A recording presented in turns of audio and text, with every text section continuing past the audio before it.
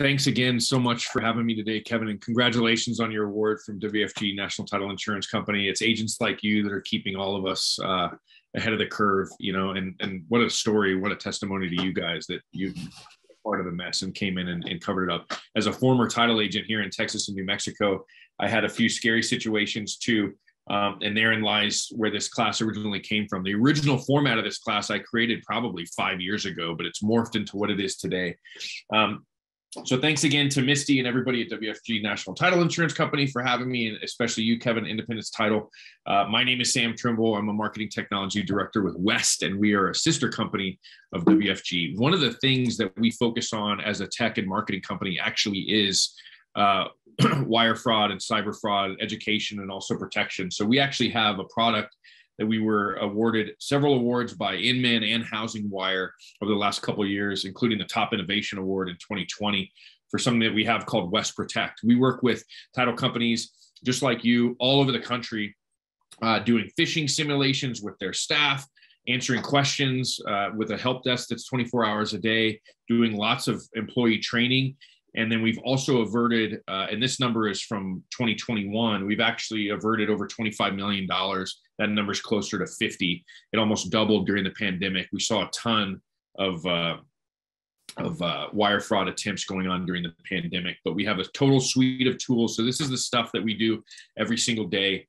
Um, so obviously, this is a what's called the Norse map. It's I'm a nerd, and so I love this thing. You can go and update it. I took this screen grab just a few weeks ago, and so you can see uh, the attack targets by a lot. It's a little blurry, but uh, number one by literally like 5,000 times uh, is the United States. And you can tell by these, it's coming from all over the world. With what's going on right now, we're seeing more and more from this little country uh, named Russia. And so there's a lot happening coming out of Russia at this time, attempting to attack our banking systems, our federal government systems. And when it comes to our banking systems, we are, as the real estate industry, we are highly tied into that through the mortgage industry, the real estate industry, and the title industry. So the attacks are coming. It's not when they're coming, uh, it's if they're coming, and they certainly are. And it's up over 600% over the pandemic. So I use this map, uh, and I just threw this one in there last year, but I used this map when I when I created this. This is a list of every large organization off the top of my head uh, that had uh, fallen victim to cyber attack over the last few years. And so when I think of the United States Department of Defense, I think of Home Depot. Remember when Target was compromised? And if you had scanned your card at a Target in the last like 36 months, about a year ago, your info was compromised. The IRS has been compromised. Netflix. We remember a bunch of things about Netflix and then uh, Sony Picture Studios coming out of North Korea a few years ago, right? So Kim Jong un didn't like something that was being made, and there were a bunch of attacks coming out of North Korea the moral of this story is if it can happen to these people do you think it's possible that it could happen to us and our small businesses especially uh, a lot of us as a real estate agent you know we use free email services like gmail aol uh, yahoo you know msn things like that so if, if it can happen to them it can absolutely happen to anybody so i want to um, this is a little roadmap of what we're going to talk about today kind of the top cyber threat trends. We're going to talk about social engineering. You've heard the term, but what the heck is it? We're going to talk a little bit about phishing, which is typically the way, you know, there's phishing and other types too, but phishing is generally speaking the way that most people are inserting themselves into these conversations. We're going to talk a little bit about wire transfer scams, which can tend to be the crux of what's happening in the real estate industry right now and I'll touch on business email compromise as a part of all of that. So there's going to be our stops along the way. You've probably heard those terms a lot before, but we're going to try and break them down. Um, so at the end of the day, hackers are targeting you, real estate agents. They're targeting lenders, title companies, um, buyers and sellers of real estate on a daily basis, hour by hour, minute by minute. They're often sending phishing emails to anyone involved in a real estate transaction and just hoping that someone will click on something. And when someone does, they're inserting themselves into the conversation and they're lying there in wait, waiting for a real estate transaction to get close to closing. Typically, right before closing, these fraudsters will send fake wiring instructions to real estate agents, to sellers, to buyers, um, and to title companies uh, and your customers, right? Your buyers and your sellers of real estate are getting emails that look like they're coming from you. If those funds get wired, um, like Kevin was talking about, there's a chance that they're most likely gone. Every once in a while, there's someone that comes in and really doubles down and works really hard to try and recover some of it. Most times it's a portion, just like Kevin just said, they were able to recover half, which is very rare, by the way, to even recover half. And it's amazing that that was able to be accomplished. But typically speaking, it's all gone. Normally it hits another account, is out of the country within moments, literally, and untraceable. Um, so at the end of the day that's kind of what it looks like. Social engineering. We've all heard that term. We've heard it on the news but what does that actually mean? This is the the most succinct and perfect def- definition i found. It's the clever manipulation of the natural human tendency to trust right? So as humans, naturally, we walk around and when someone comes up to us and says something or requests something, we trust that they're coming from a decent place, right? We don't want to walk around thinking that everyone is trying to trick us or fool us or fraud us in some way. And so social engineering is simply that. People um, preying on our natural tendency to think other people are good people right? We like other people. We want to trust them. And that's all social engineering is. And I always uh, think of there was a Dave Chappelle skit that reminds me of this, but um, everybody and Netflix is now cracking down on this too. But imagine if you were walking down the street and somebody came up to you and said, Hey, Kevin, what's up, man? Hey, can I borrow your Netflix login? We would look at them and think they were crazy. Yet if we receive an email of somebody saying, Hey, congrats on your real estate transaction. We're getting close to closing. Would you remind resending your social security number? And by the way, here's the new wiring instructions. We just changed banking relationships. Call us if you have any questions. And people are like, here's my social, here's my life savings, but you wouldn't give somebody your Netflix password if they asked for it. The reason is, is we're not doing, uh, our buyers and our sellers of real estate are not doing real estate transactions every day. This is something that they're doing once every several years wiring money this is something that they do once a few times in their whole life. They're not familiar with the process. And so when somebody says hey here's the new wiring instructions their natural tendency to trust comes in the social engineering comes in and they say sure and they wire the money. So social engineering a psychological manipulation of people into performing actions or divulging confidential information making them feel like it's no big deal and 10 times out of or and nine times out of 10 they'll end up doing it if we don't warn them ahead of time and educate them on the process. It's a confidence trick for the purpose of gathering information or frauding them or gaining access to their system which is what happens in a lot of cases. Many of you i'm sure have heard of ransomware. We talked about that at that conference last week kevin. And so at the end of the day there's people from all over the world getting into computers and encrypting all of the information. They're doing it in hospitals. Can you imagine all of all of the information in a hospital being totally encrypted and their systems being shut down ventilators not working defibrillators not working operating rooms being unfunctional and they're saying hey pay us or we won't decrypt it. And then half the time when they pay they don't do it anyway. D- this differs from a traditional con in that it's usually a single step of many other steps, right? It's not a one hit wonder where it's a con, they walk away, they're gone. This is a long game for them. But because of the amounts of money involved in a real estate transaction, it's worth it for them to stick around and take their time. So 98% of cyber attacks rely on social engineering. So this is exactly how this process is beginning. And 43% of IT professionals said they have been targeted by social engineering schemes in the last 12 months. That is almost half of all t- IT professionals across industries, by the way. This is not just title, this is not just real estate, this is not just the lending and banking world. This is across industries. Almost half of all IT professionals say they have been targeted. And that's just over the last 12 months. So, what the heck is phishing? Right? We've heard the term. Um, hacker the hackers are using basic bait like a generic email. We're going to show you some examples in just a minute um, that usually has either a, a malicious attachment or a malicious link, right?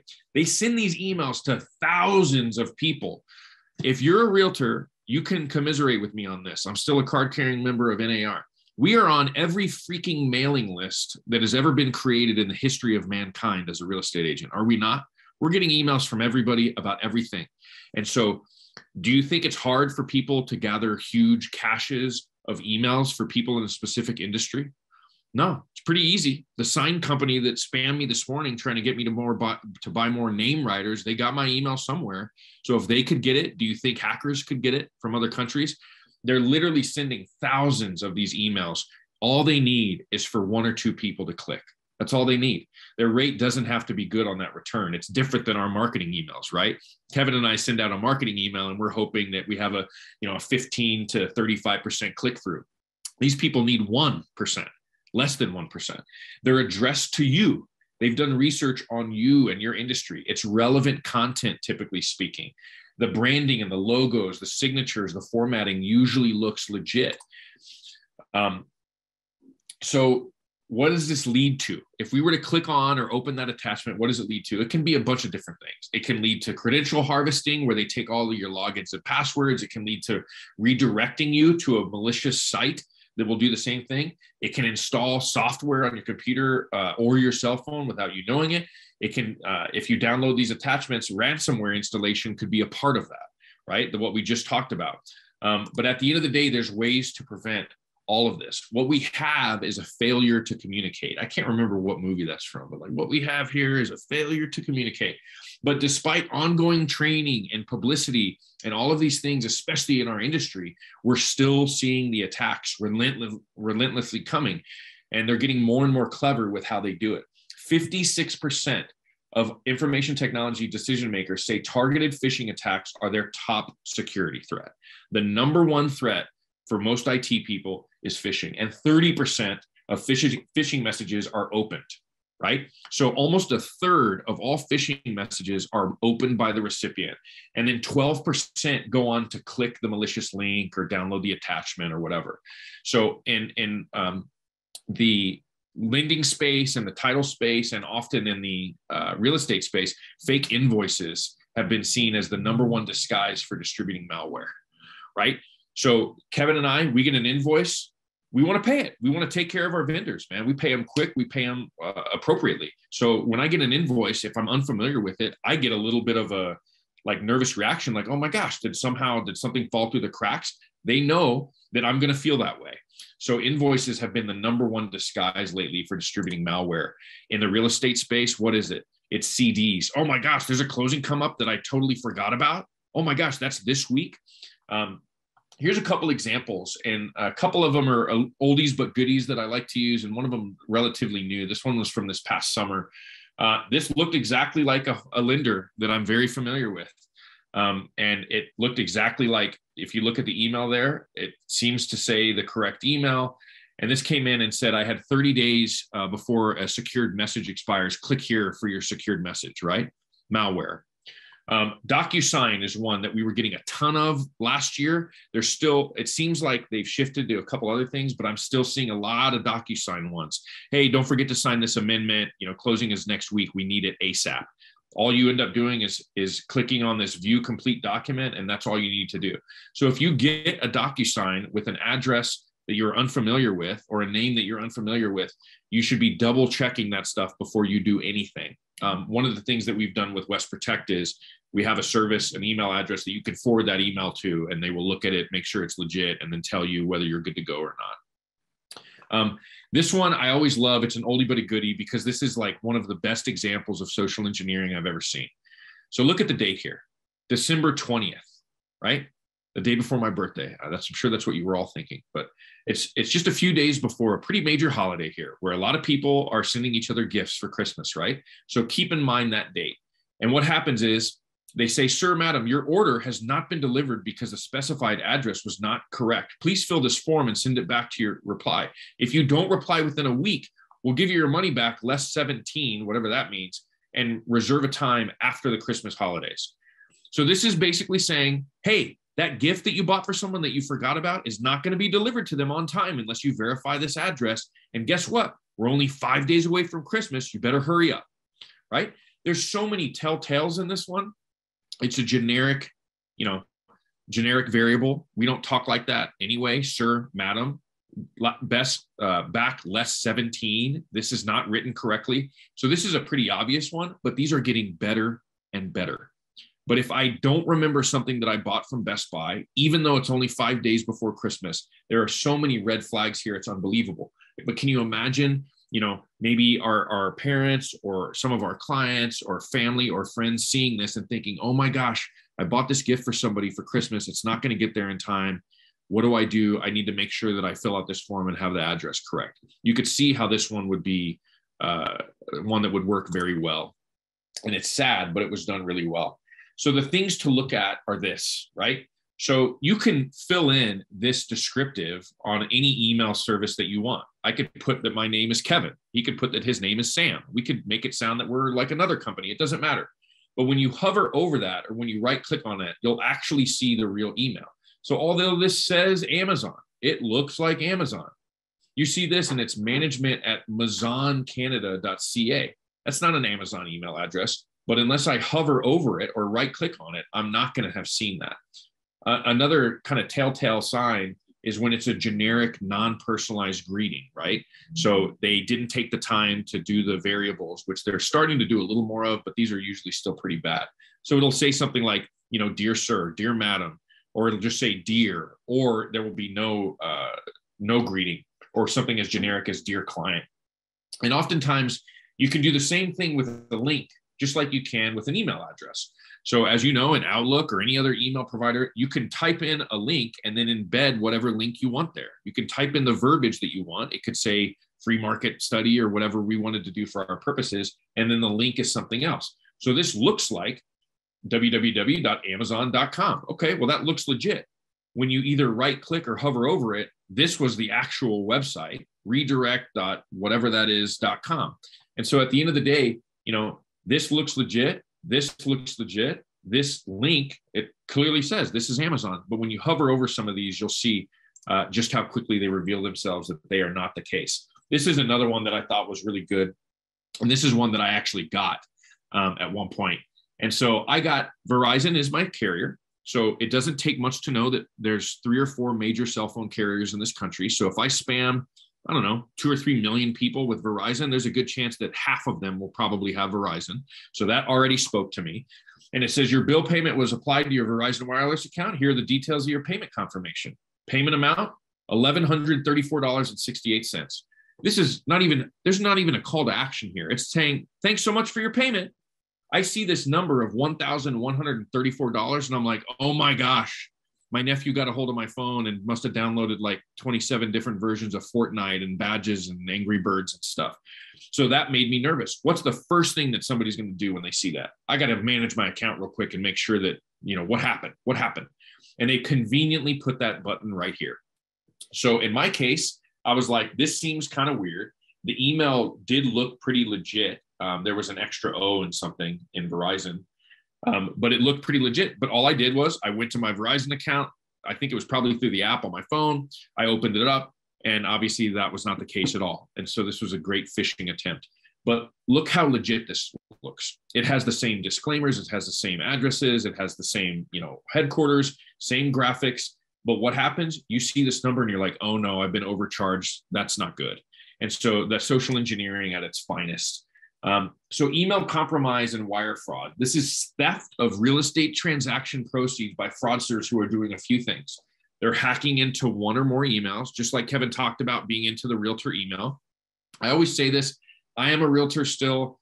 Uh, I'm not throwing shade, as the kids would say, but 95% of the time, the way this happened is through the realtor's email. And the reason is just like just like many of us, we use free email services they're not quite as secure. And so that ends up being a target. And on top of that, our information is everywhere. If you're a real estate agent and you're doing your job right, your information is all over the internet. You are everywhere your clients could possibly be. It's easy to find your phone number. It's easy to find your email address. It's easy to find a little bit about you and about your profile, about your family, maybe, because we're promoting ourselves as real estate agents. So, the downfall of doing a great job of, of promoting yourself as a real estate agent is our information is everywhere and they know we're involved in transactions. So, they create an email address oftentimes that closely resembles somebody involved in the transaction. You'll often see a letter missing or a letter wrong or an additional letter they'll watch activity of the hacked email account for transactions that are about to close. And then right before it's about to close, they're impersonating somebody involved in the transaction and they're redirecting funds by saying, hey, here's the new wiring instructions. We just changed our banking relationships. So this is the way it's going down in this case almost every time. And so it's important to know that it's not like it's getting super creative every time. This is how it's happening. And when you look at the age ranges, uh, these are 2020 numbers from IC3, which is the Internet Crimes Complaint Center through the FBI.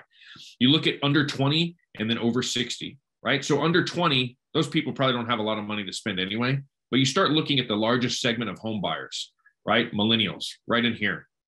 Uh, about 160,000 uh, cases of wire fraud for a total of about 700 uh, million dollars right? Then you look at the ages and you start to look at, at, as the ages increase, people that did not grow up necessarily on a computer from first grade and kindergarten, right? People that are not uh, involved in transactions maybe all that much at this point. Almost a billion dollars from that segment of over 60, right? But that said, it is spread out. These are millennials that are supposed to be good with technology and we know what's going on. And it's $700 million in losses. And this is 2020. And these numbers have almost doubled, by the way. So um, we think it has to do with age range, but it's happening to everybody. And then you look uh, at losses by state, and you look right here Florida, 295 million, ranked number four in losses in 2020, right? There are high value real estate transactions happening, and there are a lot of them happening there. And so you look at some of the big states, it kind of follows population centers, right? The more the more real estate transactions, the higher the population, and the higher the the the sales amounts, um, the higher these numbers are. So uh, IC3 by the numbers 2020, and obviously these numbers are they're always updated. I don't even know if 2021's out yet. It probably is, but they usually take four or five months for it to be out. Um, so over 2,000 complaints a day to this call center of the FBI over 5 million complaints reported since 2000, $4.2 billion of losses in 2020. Read that number again 4.2 billion with a B in losses in 2020 alone, right? So 44, uh, uh 440,000 complaints received per year on average over the last five or so years. And those numbers are just continuing to go up. so at the end of the day, we think, well, this won't happen to me. I saw it on TV. You know, people, they don't know what they're clicking on. Like they don't know any better, but this won't happen to me. Nope, not at all. At the end of the day, I think that's one of the biggest problems is that we think it can't happen to us, right? It only happens to other people. Maybe we know them, maybe we don't know them. Usually it's somebody on TV. You see somebody like Kevin that was able to come in and kind of save the day for somebody, and you makes you feel like, well, even if something were to happen, there's all these stop gaps and it's just not that that simple. You could ask Kevin what the amount of work and the amount of time that he put into trying to help that person to get back half of that lost money. And I can guarantee like that is so rare. There's a reason why he got an award for it. There's a reason why he's talking about it. There's a reason why it's on the news because at the end of the day, most times it's just gone and it is what it is. Worldwide cybercrime costs will hit $6 trillion by 2021 was the prediction and it was beat. That was the prediction and it was beat. Um, so I, I'm pounding it in our heads because at the end of the day, it can happen. But we're going to wrap up the class with talking about how to protect ourselves. In the meantime, I want to share a story from our directs uh, in Oregon uh, for a gentleman named Aaron. I was halfway between uh, work and Clackamas going to deliver some parts, driving the shop truck, and uh, got a call that said uh, we were, they were ready to send me some wire instructions. And I told the nice lady on the phone that I'd already taken care of that about a week ago. And she said, Oh, that's wonderful. And then uh, she started looking into it and says, Are you sure? So, well, what do you mean? So, yeah, did you send me the email? I sent it to her and she instantly says, Oh my goodness, you know, this isn't us. That was the worst feeling in the world, knowing that I had to go home and tell my wife that, you know, stop packing and stuff. I know we have already sold our house, but now we're not getting our other house because I don't have any money left.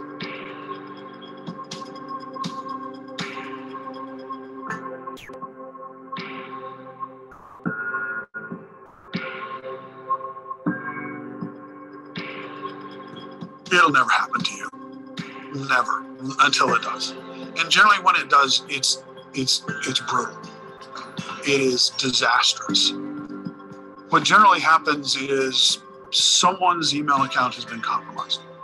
So they're looking at your emails for a long time. There's scripts that will look at every email that comes into that email account and they will key on keywords, transaction, closing, and then it will notify them that, hey, an email about this came up.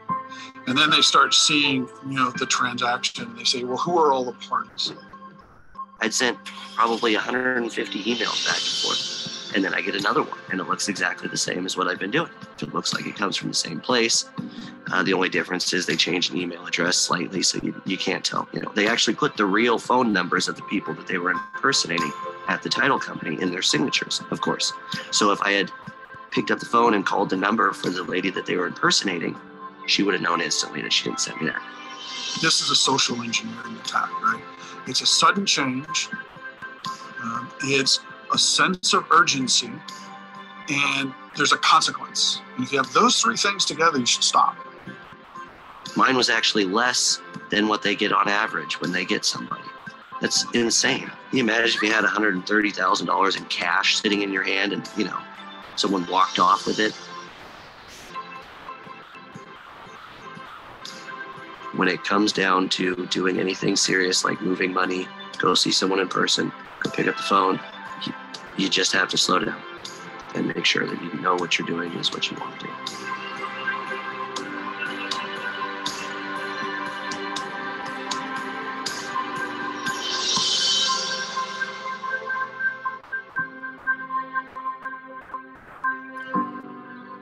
So when you look at it like that, it really you put a face and a voice with the victims of this stuff, right? And I think we forget as real estate agents and people in the real estate industry that uh, we do this every day.